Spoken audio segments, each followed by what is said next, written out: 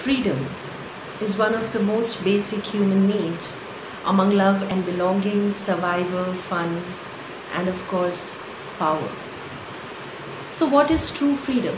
Freedom is to be able to make the choices that you want to be able to make and be live in a way that you want to live. But if you ask me, I feel freedom has another dimension as well. If we actually think about it, yes, it is very important to have the freedom to be able to make the choices and the outcomes that I can have in my life. But today, when we say that we want freedom, somewhere we are still slave to people, situations, conditions, and things. So, for me, true freedom is to be independent of any such dependency or to be slave to any such thing. Where your state of mind is really free to be happy peaceful powerful and positive as and when it wants to be irrespective of what is happening around you that is really true freedom.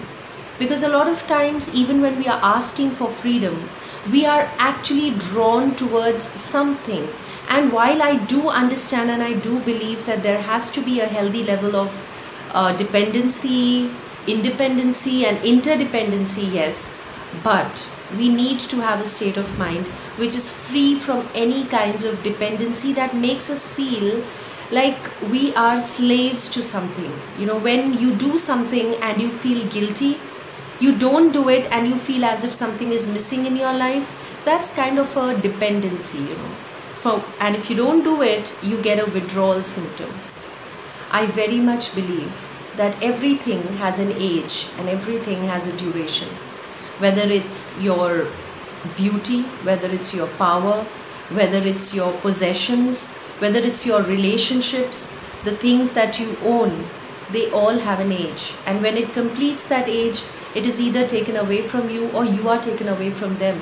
So there is always going to be this time when you're going to be separated from the thing that you're dependent on and that is going to cause a lot of pain unbelievable pain to your heart to your mind because you've got attached to that thing. So i really feel that we have to take care of this aspect from the mental well-being standpoint. Because if we become too dependent on something which is temporary it is going to cause us a lot of agony in the long run. So why not take care of this thing and the only choice that we have now is to feel powerful, positive, peaceful, and happy no matter what and even if.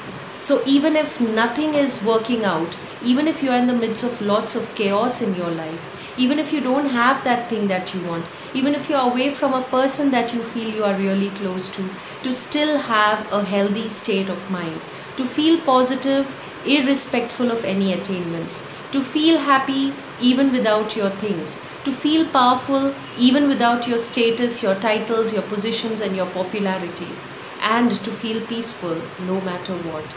So, this kind of a state of mind is what I think we should aim to achieve. You know, to have a sense of ownership, yes, but to not be attached to anything that is outside because everything outside is ultimately temporary it has an age and it is going to be taken away. And this kind of power comes from meditation. So i would like to inspire all of you to start meditating because when you start meditating you develop a very strong state of mind and then you can actually realize what true freedom is. Thank you